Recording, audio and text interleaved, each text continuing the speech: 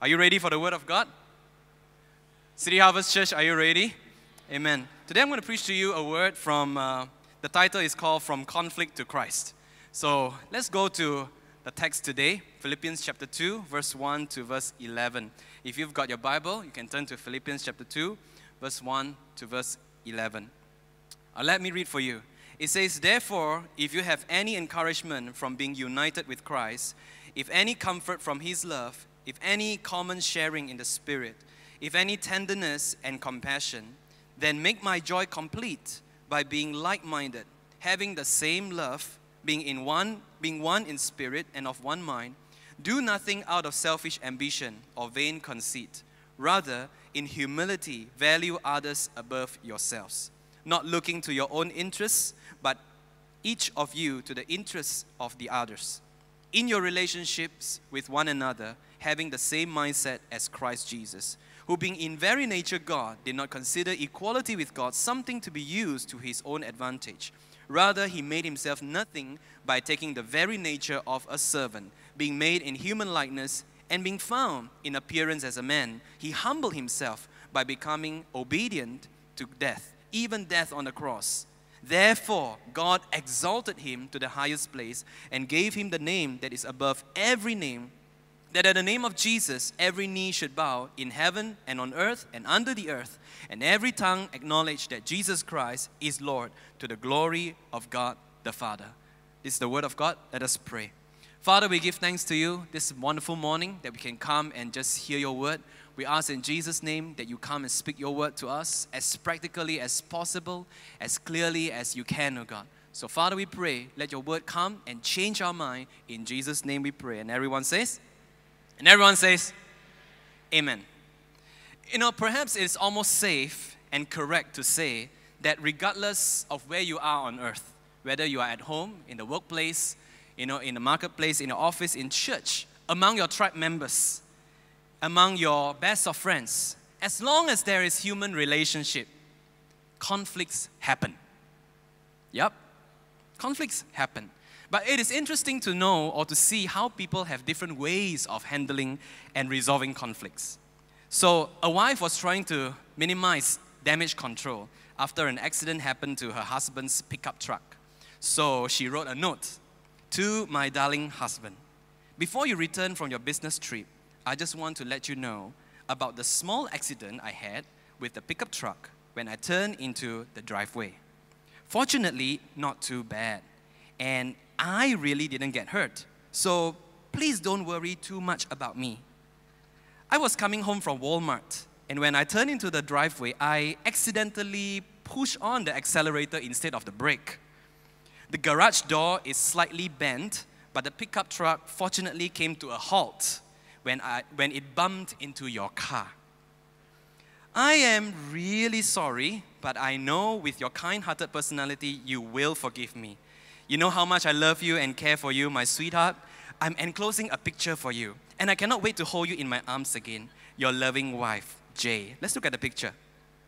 P.S. Your girlfriend called. Oh. Oh man.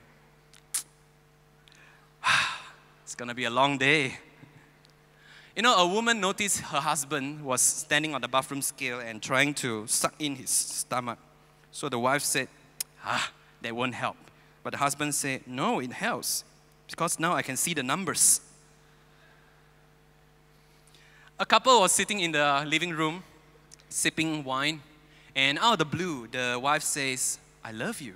The husband says, Was that you or the wine talking?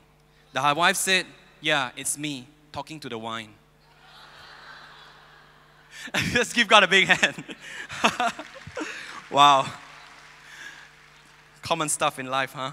You know, among the many letters of Paul, the letter of Philippians is one without dealing with any particular sin in the church. Philippi was a Roman colony in Paul's day. During Paul's visit, first visit to Philippi, he ministers he ministered to the woman, to the women by the river outside the city gate. You can find it in Acts chapter 16 in your Bible. And among them, there's this woman called Lydia and she is the purple cloth businesswoman who became a Christian. And she and her family were baptized and offered Paul hospitality. So later, Paul encountered a slave girl with a spirit of divination. So Paul called on the spirit out of her, and because of that, her upset owners brought Paul and Silas to the civil authorities. And Paul and Silas were beaten and were thrown into the jail. But miraculously, you know the story, the chains broken, the chains broke as they started to praise God in the night. And rather than escaping, Paul preached to the jailer, and he led the jailer and the family to believe in Jesus and got baptized. And that's where you get the verse, believe in the Lord Jesus, and you and your household will be saved, right? But years later, Paul, here in this letter, while he was in prison under house arrest, he wrote this letter to the same group of people, the Philippians. And he addressed himself as a slave of Christ Jesus. And he thanked them for their partnership in the gospel since the early days of his ministry.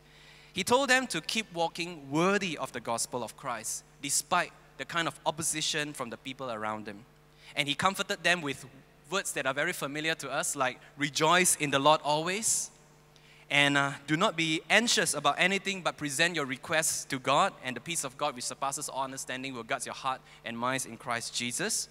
You know, those are the words that we like to use uh, last last time when we try to make uh, bookmark during exam time or to our friends. Okay, anyway, besides the external persecution, there was also internal unrest because of something happened between two women leaders of the church by the name of Euodia and Syntyche, which he pleaded with them, pleaded with them to be one of to be of the same mind in the Lord. And that's found in chapter 4, verse 2. And he spoke to the Christians around them just like speaking to a true companion to ask them to assist these two leaders because they also work very hard, like Paul, in preaching the gospel. So, this entire thing is the background of the letter of Philippians that we're going to look into today. But, like I said in the beginning, conflicts happen where there are humans. And uh, it is not to the extent that right now the church is being divided, but here in Philippians chapter 2, Paul gave an awesome advice to the church. And I think for CHCKL, if we want to be mature and grow into a perfect man, just like what Pastor Kevin talked to us last weekend in our 15th anniversary, I think this counsel is pivotal as we move into spiritual maturity as a church. So let's look at this. In verse 3, Paul says, Do nothing out of selfish ambition or vain conceit. Rather, in humility, value others above yourselves, not looking to your own interests but each of you to the interest of others. In your relationships with one another, having the same mindset as Christ Jesus. Let me read for you the message version, the very contemporary version. It says, Don't push your way to the front, don't sweet talk your way to the top. Put yourself aside and help others get ahead. Don't be obsessed with getting your own advantage.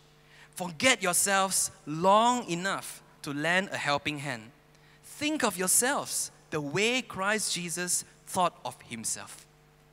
Friends, in resolving conflict and problems with one another, Paul says, don't push your way to the front to serve your own self centered ambition.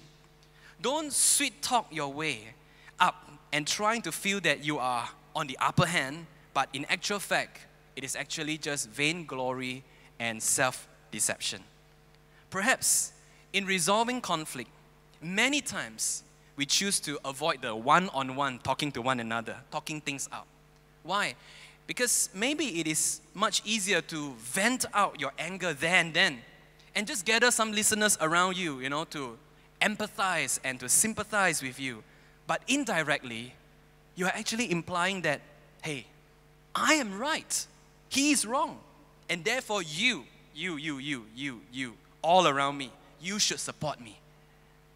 And it is so easy to feel that kind of fake glory, that kind of fake power for that moment, you know, as a king or as a diva, if you want to, as compared to confronting and communicating things out head on. But even if you do that, Paul says, put yourself aside and help others get ahead. But you say, huh, Andrew, does it mean that I become a doormat for people to step on? No. You may have your points, but others' points should also be valued above yours.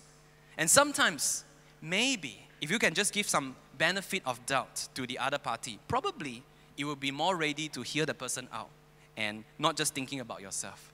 And to Paul, this is humility.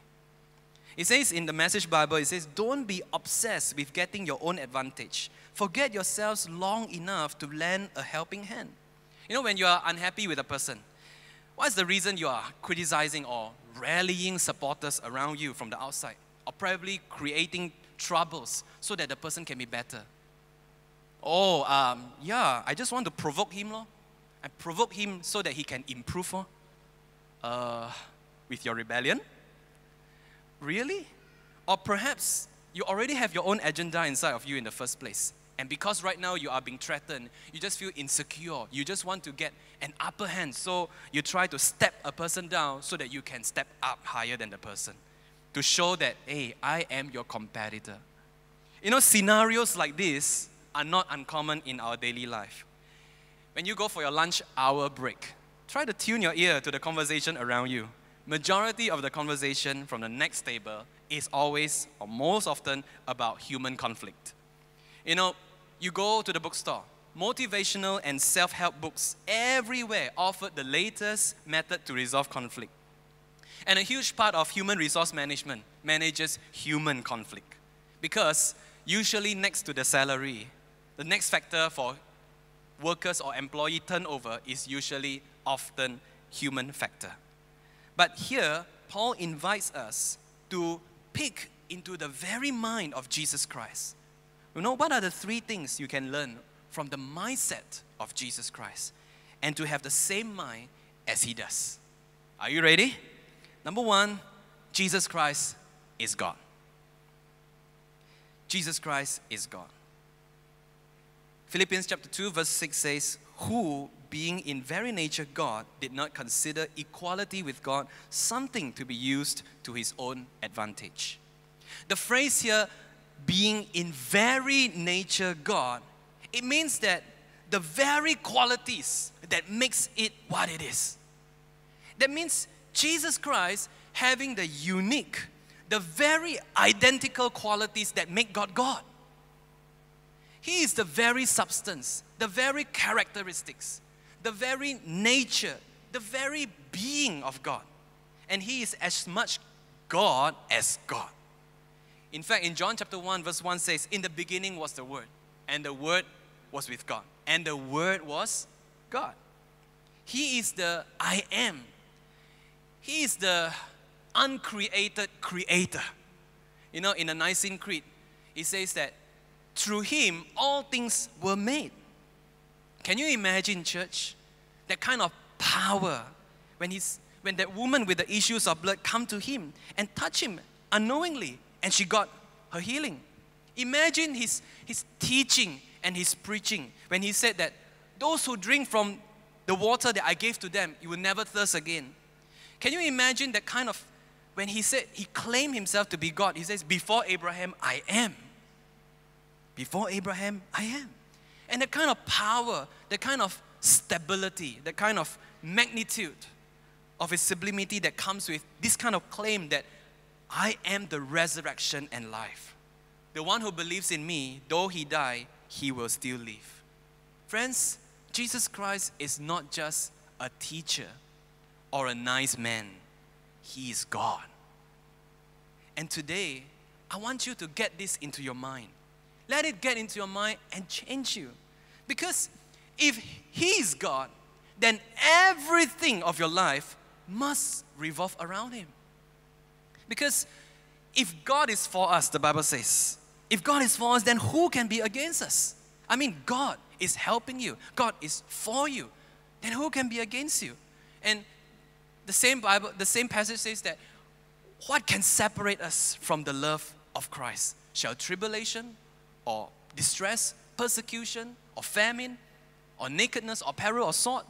Because I am persuaded, I'm convinced that nothing, neither death nor life, neither angels nor demons, neither the future or the present, or any powers nor height nor depth, nor anything else in the creation, nothing can separate us from the love of God, which is in Christ Jesus our Lord. I think it's John Stott that says this in his book. He says, Nobody, if you read the Bible, nobody that ever met Jesus Christ ever had a kind of moderate reaction to him. There are only three kinds of reaction to Jesus. They either hated him and wanted to kill him, or they were afraid of him and wanted to run away, or they were absolutely smitten with or affected by him so much that they tried to give their whole life to him. So let it sink to you for a moment in this letter of Philippians that even though Christ is God in the Trinity, he did not consider equality with God something to be used for his own advantage. That means what? That means he did not even insist on his right as God. He did not hold on to it tightly and say, No, I don't want anything to do with salvation with mankind. Why am I supposed to care for them? Friends, it is easy for us to insist on our rights. That we are right, we are entitled to.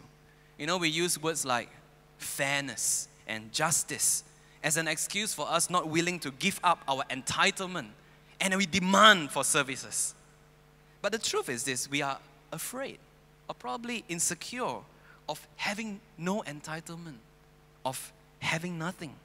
And we think that we work so hard to earn this entitlement, to be on the upper hand, in order to talk you down. You know, things like, you mean you want me to say sorry first? And a couple fight. You want me to talk to him first? You want me to sacrifice first? No, I don't want. Couldn't ask him.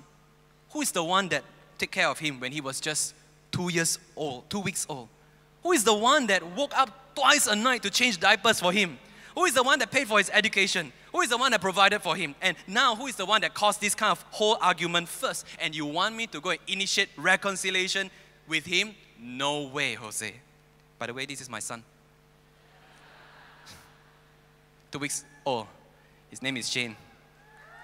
Let's give God a big hand. Amen.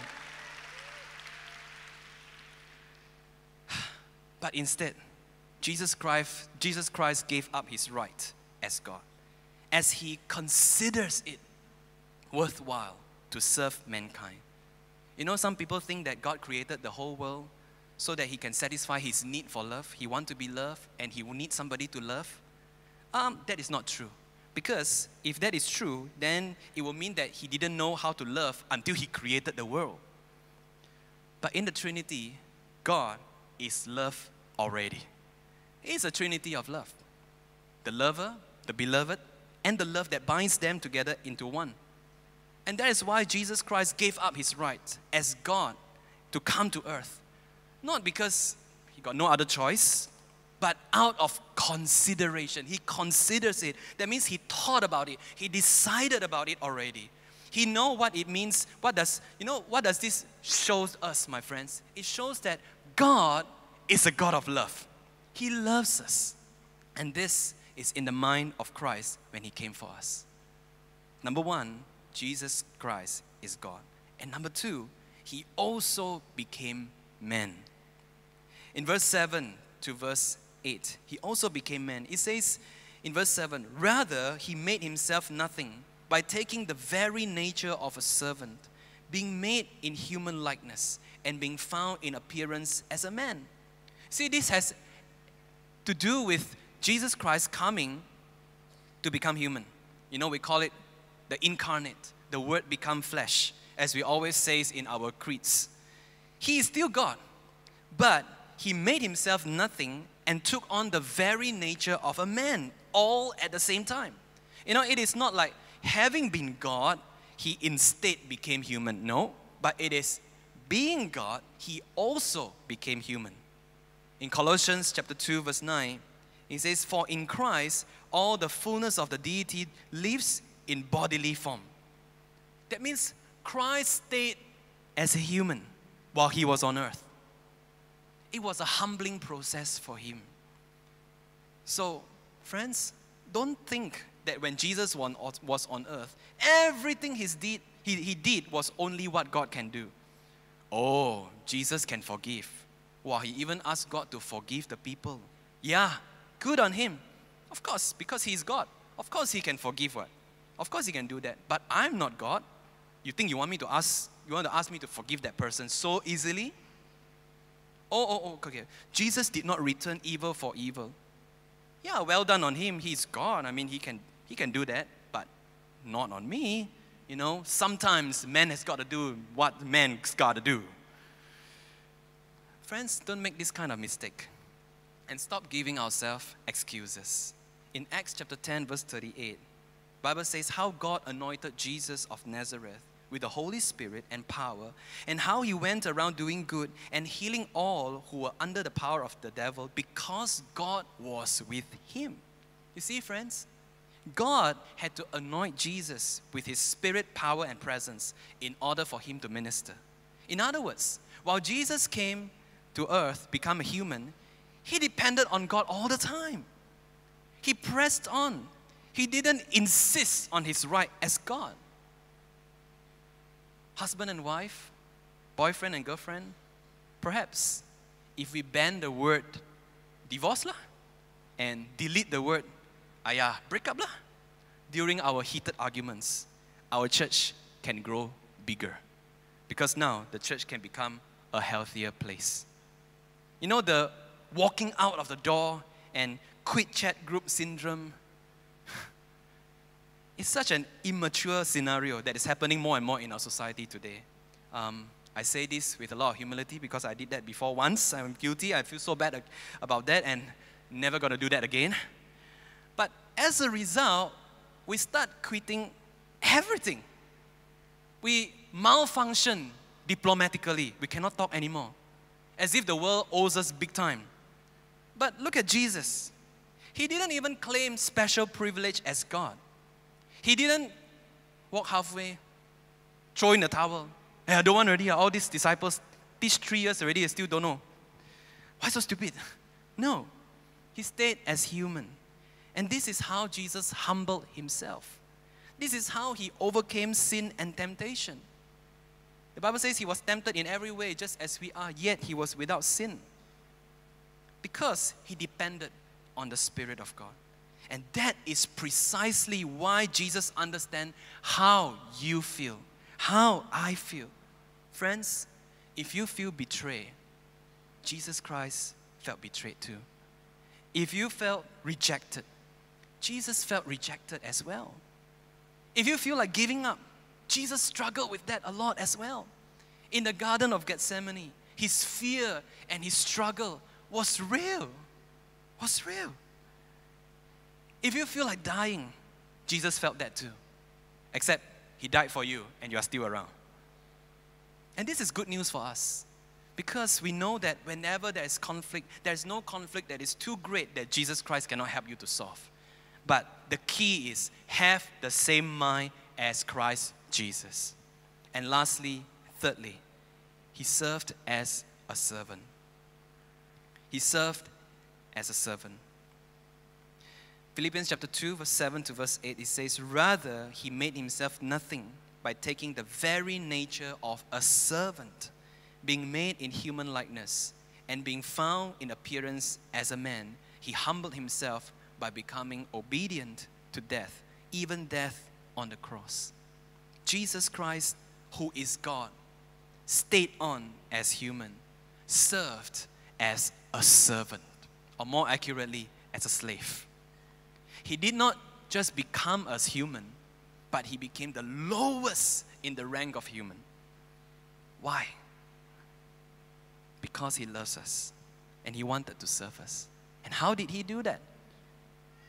In Mark chapter 10, it says, For even the Son of Man did not come to be served, but to serve, and to give his life as a ransom for many. The day I married my wife, I realized that I had to get used to her squeezing the toothpaste from the center. because all my life, I, I got annoyed first, okay? I must say this. Because all my life, toothpaste can only be squeezed from the bottom up. So, then how? Fight oh, every morning, throw pots and pans. Oh. no, but finally I learned to bring myself to peace. I serve my wife by making sure that every morning she has a generous center for her to squeeze. I do that by squeezing up from the bottom up so that she has a good center. Because why would I want to withhold my love for her just because she does things differently from me? And am I so perfect that even to come to a point that withholding my love from her? And by the way, how would I want myself to be treated if I'm in her shoe? You see, it was never my initiative, but God's initiative in the first place that God would love me, He would serve me, and He would even die for me. Today, I can only enjoy salvation and serve Him because of His grace, all because He chose to serve. So, what is there for me to then boast about my ambition and my vain conceit? What makes me think that I'm totally right and others are totally, you know, undeniably wrong to the very core of their being? City Harvest Church, the more we realize that Jesus is God and He gave up His entitlement to come and serve us as human, as a servant, even to the point of the cross, the more we can understand why Jesus would come and wash His disciples' feet. How, how can he come and, and he said that whoever believes in me will do the works that I do and to do even greater things than this? You know, we can serve even more people than he did on earth. We can all serve and lay down our lives for one another. Why? Because I mean, God did it for me. God, who created me, did it for me. I cannot be able to reach His level, if God can do it for me, I can do it for others. Are you with me, friends? If my God do it for me, I could do it for others. What reason I have for not be able to serve one another? And as a result of having this mindset of Jesus Christ, look at verse 9 to verse 11. It says, Therefore God exalted him to the highest place and gave him the name that is above every name, that at the name of Jesus every knee should bow in heaven and on earth and under the earth, and every tongue acknowledge that Jesus Christ is Lord to the glory of God the Father. The whole thing is done by God alone, not men. God's way of exaltation is the way down. By giving up his glory and his entitlement, Jesus was resurrected and given all the powers in heaven and on earth. He went down to the lowest and he came up as the highest to show us how to live as humans. That even every tongue would acknowledge Jesus Christ as Lord, not just on earth, not just in heaven, but also under the earth. That means those who have gone before us, they also will have to acknowledge that Jesus Christ is Lord. So, CHCKL, Euphoria is just around the corner, and our church is 15 years old now. How to mature into a perfect man? Having the same mind as Christ. Give up your entitlement, serve one another don't think that I'm a senior member, I don't serve. Don't think that ah, I have any entitlement, serving is not for me. No. Let us give our visitors, in this coming euphoria, let us give our visitors an experience of who we are. We are a community of faith who serve one another. Why? Simply because our Lord, Jesus Christ, is God. He also became man and served as a servant. And everyone says, in conclusion, perhaps Paul was right. The core of human conflicts lies in the question that I don't want to serve you. Why should I serve you? The disciples were fighting against one another, remember? To see who is greater. And the mother of James and John came to Jesus and said, and request for a special acknowledgement, you know, to sit with Jesus on the left and right. And Jesus says, Those who want to be great, you must be slave and servants of all. come back to Paul in this letter. Perhaps Paul wanted to show to these two prominent leaders of the church, Euodia and Syntyche, that no matter what conflict it is between them, the basis of solving the conflict is to have the same mind as Christ, to give up your entitlement and serve one another. But to us, who is in the 21st century social media age, where we always hear words like selfie, narcissism, I never hear this word more than it, you know, last time. But now, narcissism is like keep on repeating. Relativism, entitlement. They say that the millennials, you know, they all they care for is entitlements. We hear all these words more than ever before. We realize that nobody, no one is separate, is spared from human conflict. Whether you are leader with leader, leader with member, member with member, employee, employer, parents and children, peers and peers, tribe leaders and tribe leaders. the solution starts with having the same mind with Jesus Christ. Having the same mind with our Lord. Give up your entitlement. Give up selfish ambition. Humble yourself. Put down the vain glory. And perhaps, you know, in any conflict. Sometimes you cannot solve things there and then. But if you can take a step back and say that, right, he has his point, I have my point. But in this situation, how can I follow Jesus? How can I learn to serve? How can I bring the concept of serving into this situation? If my intention is to serve one another, just as Christ did and served me. I mean, what has I entitled for him to come and serve me? But he did for me. And how can I serve this person, this brother, this sister, this son, this daughter, this leader, this member, whoever? Ask yourself, how can I demonstrate serving one another just like Christ? you know, you realize that a lot of time the Bible does not give you all the answers to every question you ask. But here, the Bible does give you what kind of attitude you should have in solving your problems. So, how do you turn from conflict to Christ? If today all that I said you cannot remember, how do you turn from conflict to Christ? Just remember this Jesus Christ is God. He also became man and he served as a servant. Can we say together? Jesus Christ is God. He also became man and served as a servant. Let's say it one more time. Jesus Christ is God. He also became man and served as a servant.